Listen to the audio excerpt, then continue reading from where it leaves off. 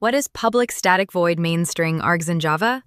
Public static void main is the entry point of any standalone Java application. It's a special method that the Java virtual machine calls when the program starts. Public. This means the method is accessible from anywhere, including outside the class.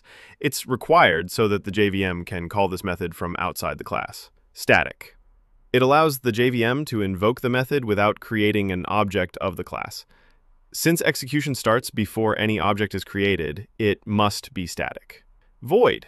This indicates that the method does not return any value. Main.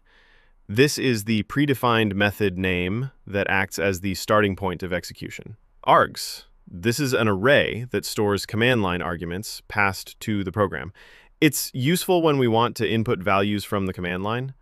So overall, this method is required to start the execution of any Java application. And if it's missing or incorrectly defined, the program will not run.